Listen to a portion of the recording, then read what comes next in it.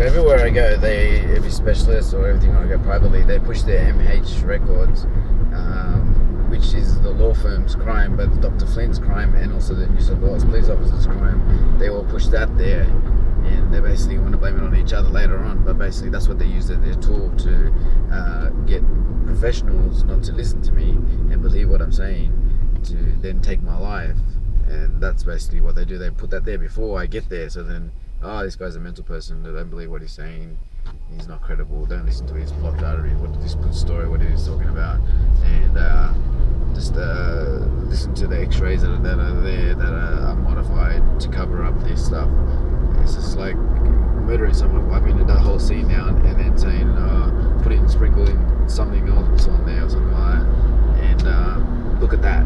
Don't look at the blood that was wiped up before and stuff like that. That's what they're basically doing to commit a murder and clean it up. That's how many times they've done it to my organs, to my liver, to my kidney, to my heart, to my brain, to my veins, to everything. We're pretty much now got nothing, really living on one vein, pretty much. I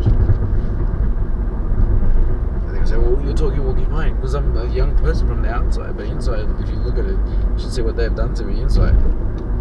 They basically think they're going to be making money or a career off this, and uh, that's what they're basically doing. But stopping me suspects, all of them. Chris Paisa, date of birth, date of